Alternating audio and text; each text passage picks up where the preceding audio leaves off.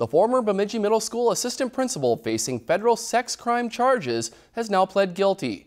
35-year-old Brandon Bjerknes appeared in federal court today in St. Paul, where he admitted to the allegations of coercion and enticement of a minor and child pornography.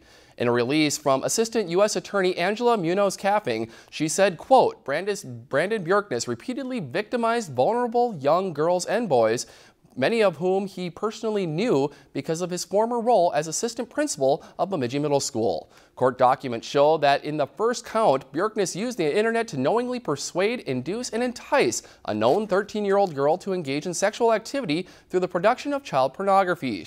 In the second count, Bjerknes allegedly engaged in sexual explicit conduct with a known 12-year-old girl for the purpose of producing a visual de um, depiction. Prosecutors say that Bjerknes had sexual conversations with at least 55 minor victims. The minimum sentence for coercion and enticement of a minor is 10 years in prison, and the minimum sentence for the child pornography charge is 15 years. However, federal sentencing guidelines suggest life in prison. Bjerknes will also have to register as a federal sex offender.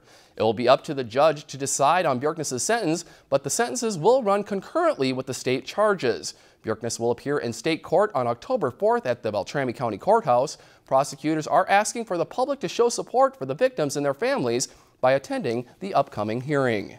If you've enjoyed this segment of Lakeland News, please consider making a tax-deductible contribution to Lakeland Public Television.